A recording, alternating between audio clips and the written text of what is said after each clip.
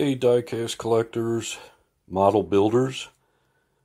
Just taking another quick look at my 124th and 118th scale and a few smaller scales mixed in diecast collection. If you watched my video, I think two videos ago, I showed my collection and you can probably tell that it's a little bit more spaced out the reason it's more spaced out now and I'm able to dust them a little bit better, display them a little bit better, is because I finally was able to get my new diecast cabinet in my room.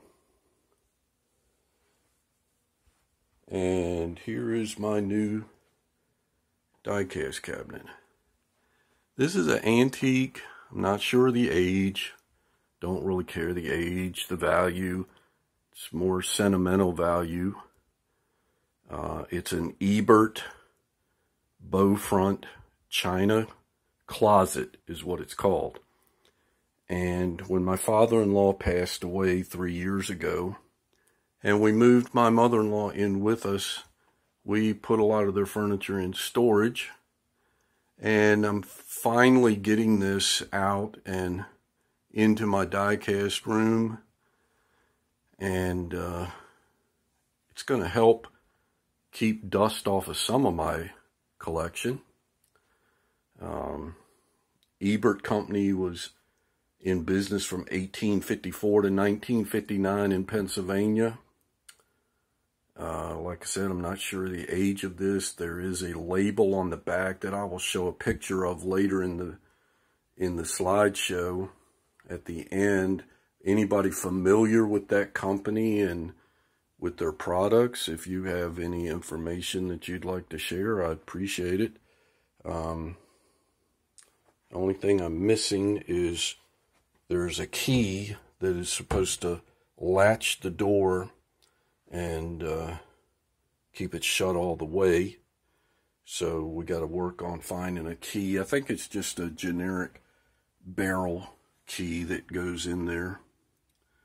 But uh, yeah, I can put quite a few of my cars and trucks in here.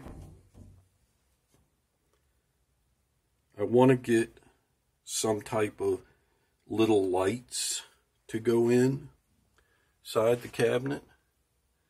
It is, as you can see, kind of dark in there, and it's dark wood. But yeah, it's going to help a lot with keeping some of my vehicles dust free. So there you have it. My new antique bow front, china closet, now a die-cast cabinet. I want to thank everybody for watching. Thank my new subscribers. I want to do a couple of shout outs of some channels that I've recently subscribed to that you guys should check out. Southpaw Diecast, Spork S-P-O-R-K Syndicate,